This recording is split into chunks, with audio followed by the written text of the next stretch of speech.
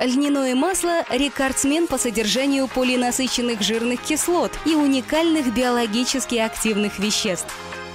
Пищевой вариант производят методом холодного отжима. Оно сохраняет большинство полезных компонентов исходного материала. Универсальный продукт используется в кулинарных, косметических или лечебных целях. Отличный источник полезных веществ, обладает противовоспалительным свойством, но не стоит забывать, что жарить на льняном масле нельзя. Его лучше всего использовать в сыром виде, добавляя в готовые блюда.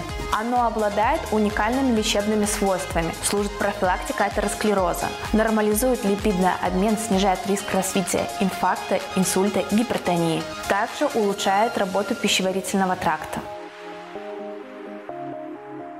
В состав входят омега-3, стеариновая, миристиновая и пальмитиновые насыщенные жирные кислоты, витамины А, В1, В2, В6, В9, а также калий, фосфор, магний, железо, цинк, фитостеролы, сквален, теопролин, лецитин, бета-каротин.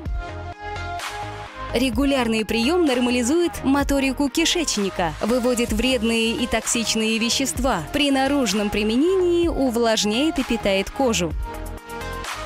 Лучше всего добавлять 1-2 столовые ложки льняного масла в уже готовые блюда.